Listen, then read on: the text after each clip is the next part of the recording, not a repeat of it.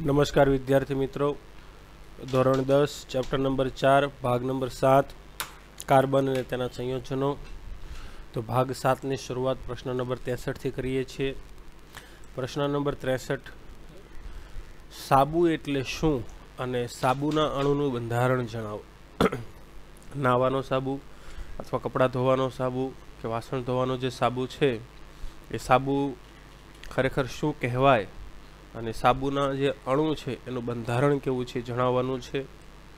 તો સાબુ એ લાંબી શૃંખલાવાળો કાર્બોક્સિલિક એસિડ કાર્બોક્સિલિક એસિડ એટલે કેવો એસિડ કહેવાય? Fatty acid. અને એની સાથે સોડિયમ અથવા પોટેશિયમ ક્ષાર હોય. એટલે સાબુની અંદર કાર્બોક્સિલિક એસિડની લાંબી શૃંખલા હોય તે કાર્બોક્સિલિક એસિડ એટલે ફેટી એસિડ એક પ્રકારનો કહેવાય. પણ જો નાવાનો સાબુ હોય તો એની સાથે પોટેશિયમ ક્ષાર હોય. અને જો કપડાં ધોવાનો કે વાસણ ધોવાનો સાબુ હોય તો એની સાથે કયો ક્ષાર હોય? સોડિયમ ક્ષાર હોય. તો સાબુનું અણુ જે છે, એના બંધારણમાં બે ભાગ હોય. નીચે આકૃતિ જોતા જજો. પહેલો ભાગ કહેવાય અધ્રુવીય ભાગ. અધ્રુવીય ભાગ એટલે કે કે લાંબી હાઇડ્રોકાર્બન શૃંખલા ધરાવે. અને લાંબી હાઇડ્રોકાર્બન શૃંખલા ધરાવે જે જળ વિરાગી છેડો છે. જળ વિરાગી છેડો એટલે પાણી તરફ તે અપાકર્ષણ ધરાવતો હોય. પાણી તરફ તે શું ધરાવતો હોય? અપાકર્ષણ ધરાવતો હોય. એ જળ વિરાગી છેડો કહેવાય અને એને પૂંછડી કહેવાય, જો આવડે. આણું છે. આમાં જે આ લાઈન કરેલી છે ને, જ્યાં ખૂણા પડે છે ને દેખાય તમને ખૂણા? આ બધી જગ્યાએ સીએચ ટુ છે. કોણ છે? સીએચ ટુ અને જે લાઈન છે એ બધા બોન્ડ છે. આ બધા ખૂણે સીએચ ટુ છે. એમાં આજે અધ્રુવીય ભાગ એટલે જળ વિરાગી છેડો એટલે કે જે પૂછડીનો છેડો છે, લાંબી હાઇડ્રોકાર્બન શૃંખલાના અંતે આવેલો છે. તે પાણી પ્રત્યે અપાકર્ષણ ધરાવે છે. એટલે એને અધ્રુવીય પૂછડી કહેવામાં આવે. બીજો ભાગ છે ધ્રુવીય ભાગ. ધ્રુવીય ભાગ જે ઋણ વીજભાર ધરાવે છે. શીર્ષનો ભાગ, ધ્રુવીય ભાગ. જે જળ અનુરાગી છેડો છે. જળ અનુરાગી છેડો એટલે પાણી પ્રત્યે આકર્ષણ ધરાવે. જેને ધ્રુવીય શીર્ષના નામે ઓળખવામાં આવે. કયા નામે ઓળખવામાં આવે? ધ્રુવીય શીર્ષ. ચાલો. પ્રશ્ન નંબર ચોસઠ. સાબુ અને ડિટર્જન્ટના ક્રિયાશીલ સમૂહ જણાવી તેના અણુનું બંધારણ જણાવો. સાબુ અને ડિટર્જન્ટ છે. એનો ક્રિયાશીલ સમૂહ અને એના અણુનું બંધારણ જણાવો. ચલો ધ્યાન આપો. સાબુની અંદર હાઇડ્રોકાર્બન શૃંખલા જેને આર કહેવાય, જે આપણે આ જે ખૂણાવાળા ઝીગઝેગ દેખાય ને, એમાં જેટલા ખૂણા છે ત્યાં સીએચ ટુ છે, બાકીના બધા કોણ છે? બોન્ડ બંધ જ આવેલા છે, બાકીના બધા.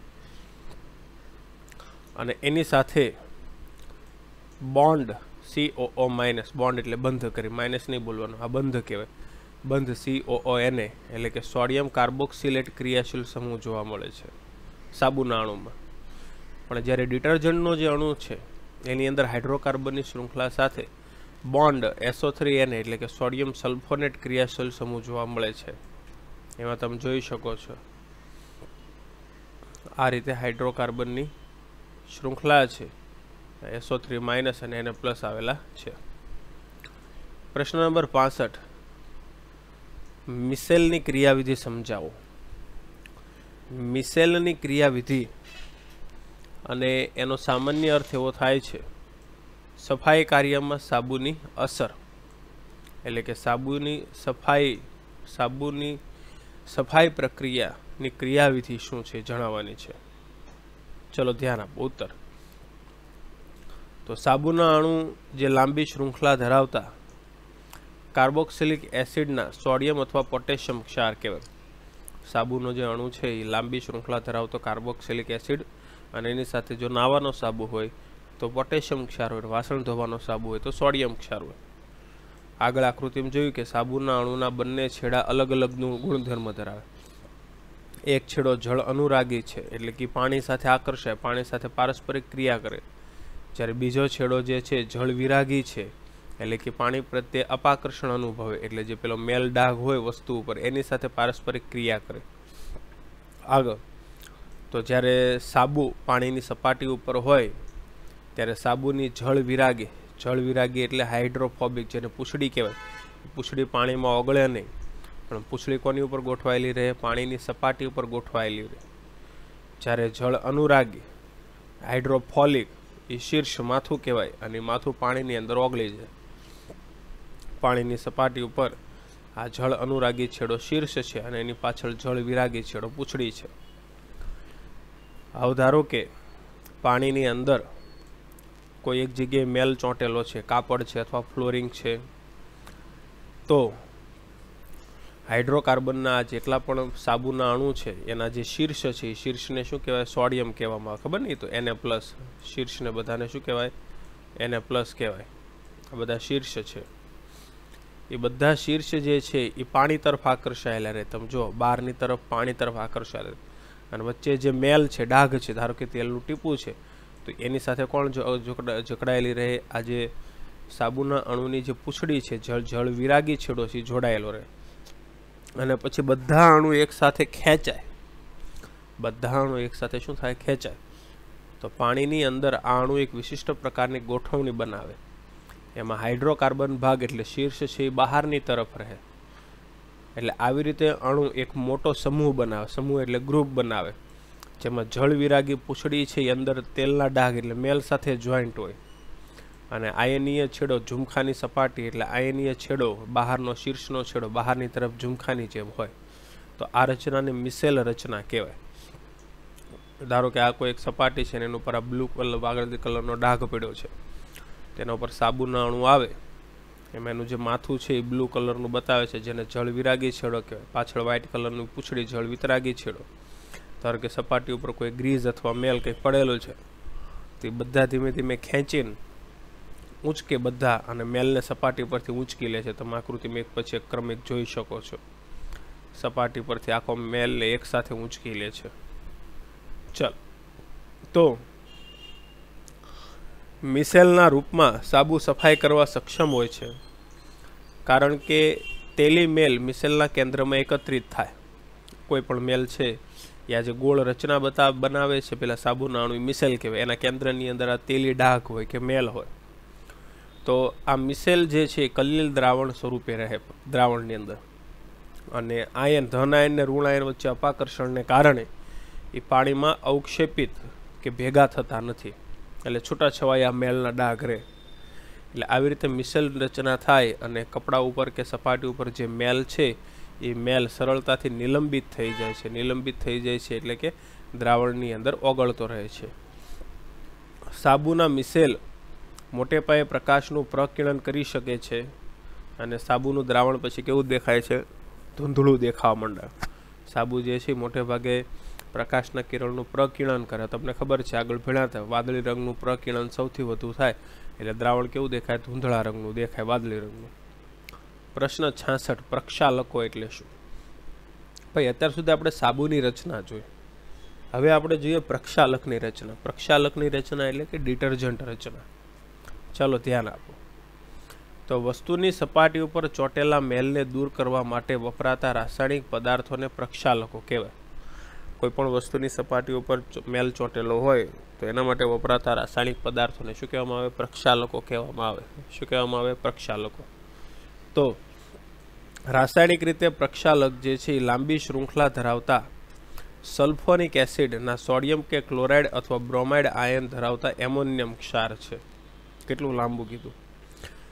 લાંબી હાઇડ્રોકાર્બન શૃંખલા અને એ લાંબી હાઇડ્રોકાર્બન શૃંખલા એની સાથે કોણ જોઈન્ટ હોય? સલ્ફોનેટ અને સોડિયમ. અથવા ક્લોરાઇડ હોય, અથવા બ્રોમાઇડ હોય, અથવા એમોનિયમ ક્ષાર હોય. આટલા બધા ક્ષાર ભેગા હોય. અને પ્રક્ષાલકોના આ જે વીજભારિત છેડા વીજભારિત છેડા એટલે આ જે માથું, શીર્ષ જે કહેવાય એ પાણીની અંદર કેલ્શિયમ અને મેગ્નેશિયમ જેવા આયનો છે, એની સાથે અદ્રાવ્ય અવક્ષેપ બનાવતા નથી. અદ્રાવ્ય એટલે ઓગળે નહીં એવા અવક્ષેપ ન બનાવે, પણ ઓગળી જાય એવા અવક્ષેપ બનાવે, દ્રાવ્ય ક્ષાર રૂપે અવક્ષેપ બનાવે. એટલે પાણીની અંદર જે કેલ્શિયમ ને મેગ્નેશિયમ આવેલા આયનો આવેલા છે, એ બધાને ઓગાળી નાખે. એટલે આવી રીતે કઠિન પાણીમાં અસરકારક હોય છે. કઠિન પાણીને નરમ બનાવી દે. તમારા ઘરે જે વાસણ, જે મ્યુનિસિપાલિટીનું જે સામાન્ય પાણી આવતું હોય છે બધું કઠિન પાણી કહેવાય. એમાં સરળતાથી મેલ દૂર ન થાય. એટલે શું કરે મમ્મી? તો કે તમને ખબર છે કે પાણીની ડોલ લે, એમાં મ્યુનિસિપાલિટીનું જે પાણી આવતું હોય, જે આપણા ઘરે રોજ આવે છે, એ નાખે. પછી એક ચમચી પ્રક્ષાલક નાખે. પ્રક્ષાલક એટલે ડિટર્જન્ટ પાવડર નાખે. એક ચમચી ડિટર્જન્ટ પાવડર નાખે એટલે શું થાય? પાણીની અંદર જે પેલા કેલ્શિયમ ને મેગ્નેશિયમ આયન હતા, એ બધા દ્રાવ્યમાં, એ દ્રાવ્ય થઈ જાય એટલે પાત્રના તળિયે બેસી જાય. એટલે કઠિન પાણીમાંથી હવે શું બની જાય? નરમ પાણી બની જાય. અને નરમ પાણી બની જાય જેને કારણે પછી કપડાં એ પાણીથી કપડાં તો પછી એમાં મેલવાળા કપડાં નાખે. એટલે સરળતાથી કપડામાંથી મેલ દૂર થઈ જાય છે. તો સામાન્ય રીતે પ્રક્ષાલકોનો ઉપયોગ શેમ્પૂ અને કપડાં ધોવાના પદાર્થો બનાવવા માટે વપરાય છે. પ્રશ્ન નંબર સડસઠ. સાબુ અને ડિટર્જન્ટમાં કોણ વધુ અસરકારક પ્રક્ષાલક છે? શા માટે? અને સાબુ કરતાં ડિટર્જન્ટનો ઉપયોગ વધ્યો છે કે પ્રક્ષાલક એટલે સાફ સફાઈની ક્રિયાવિધિ કરતા સાધનો. તેમાં સાબુ અસરકારક છે કે ડિટર્જન્ટ અસરકારક છે? શા માટે? કારણ આપવાનું છે. અને સાબુ કરતાં ડિટર્જન્ટનો ઉપયોગ વધ્યો છે. કેમ? તો ધ્યાન આપો. તો સાબુ અને ડિટર્જન્ટ પૈકી સૌથી વધુ અસરકારક પ્રક્ષાલક એટલે સાફ સફાઈની ક્રિયા કરતું સાધન જો હોય તો એ સાબુ છે. સોરી, ડિટર્જન્ટ છે. અને કઠિન પાણીની અંદર કેલ્શિયમ ને મેગ્નેશિયમ ધાતુ આયનો છે. એટલે જે કઠિન પાણીમાં કેલ્શિયમ અને મેગ્નેશિયમ આયનો હોય ને, એવા પાણીમાં સાબુથી તમે કપડાં ધોવો ને, તો સાબુનો વ્યય થાય. સાબુ નકરો બગડે જ મેલ બહુ દૂર ન થાય. એટલે એવા પાણીની અંદર ડિટર્જન્ટ નાખવું પડે. કારણ કે ડિટર્જન્ટ કેલ્શિયમ અને મેગ્નેશિયમ ધાતુના જે આયનો છે, એનો અવક્ષેપ ન આપે. એ પાણીની અંદર દ્રાવ્ય ક્ષાર આપે, એટલે પાણીની અંદર ઓગાળ દે એને. એટલે કઠિન પાણીમાંથી નરમ પાણી થઈ જાય. અને તેને કારણે ડિટર્જન્ટનો વ્યય થતો નથી. પછી તમે જેવો તમે મેલા કપડાં પાણીમાં નાખો, એટલે આપઆપ કપડાની અંદરથી મેલ દૂર થઈ જાય. તો આથી સાબુ કરતાં ડિટર્જન્ટનો વપરાશ વધી ગયો છે, એવું કહી શકાય છે. ચાલો. પછીની પ્રવૃત્તિઓ છે બહુ મહત્ત્વની નથી. એના પછી પ્રશ્ન નંબર અડસઠ. શું તમે પ્રક્ષાલકનો ઉપયોગ કરી ચકાસી શકો કે પાણી કઠિન છે કે નહીં, તો કે નહીં? કારણ કે પ્રક્ષાલક એ કઠિન અને નરમ બંને પ્રકારના પાણીમાં ફીણ ઉત્પન્ન કરે. એટલે પાણીમાં આપણે પ્રક્ષાલક નાખીને તરત કહી શકીએ નહીં કે ભાઈ આ કઠિન છે કે નરમ છે. આપણે કઠિન પાણી કે નરમ નાખીએ એટલે પાણીમાં ફીણ તો એ ઉત્પન્ન કરવાનો જ છે. ઓગણસાઠ. લોકો કપડાં ધોવા માટે વિવિધ પદ્ધતિનો ઉપયોગ કરે છે. સામાન્ય રીતે સાબુ ઉમેર્યા પછી લોકોડો, લોકો જે છે એ કપડાં પથ્થર ઉપર પછાડે, પાવડી સાથે પછાડે, બ્રશથી ઘસે, વોશિંગ મશીનમાં શોભિત કરે એટલે જોરથી ગોળ ગોળ ફેરવે કપડાં સાફ કરે તો એને બધાને રગડવાની જરૂર પડે છે. કેમ? તો ધ્યાન આપવું કે જ્યારે કપડાં ધોવે ત્યારે એને ધોકા વડે ટીપે છે, એવું બધું કરે. ખબર ને? પથ્થર ઉપર પછાડે છે, બ્રશથી ઘસે છે. શા માટે? તો કે સાબુના અણુનું પૃષ્ઠતાણ ઘટાડે. પૃષ્ઠતાણ એટલે સાબુના અણુને ખેંચે. સાબુના અણુ જે છે, એ ખેંચે. કે તો ધ્યાન આપો કે સાબુના અણુનો અધ્રુવી એટલે પૂંછડીવાળો ભાગ એ હાઇડ્રોકાર્બનવાળો ભાગ હોય. અને એ મેલ સાથે ચોટેલો હોય. એટલે કે તેલ કોઈ પણ ડાઘ હોય એની સાથે ચોટેલો હોય.